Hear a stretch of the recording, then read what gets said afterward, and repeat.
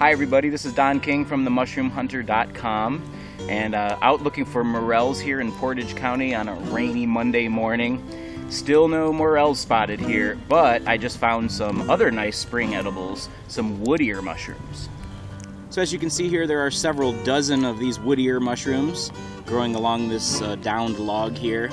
The Japanese call this mushroom kikurage, which means tree jellyfish.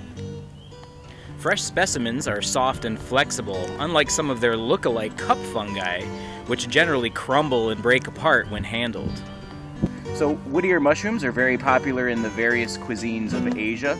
Uh, they don't have a lot of flavor, but they have an amazing texture. So no matter how much you cook these things, they always have that nice bite, that nice al dente texture. So you'll see them very often in stir fries and other Asian dishes. However, I like to pickle them. If you make a solution of a uh, about a third water, sugar, and rice wine vinegar, heat that to boiling and pour uh, pour that over these mushrooms. If you have some ramps, throw those in there as well. And after a couple of days, you'll have the most delicious sweet and sour pickles.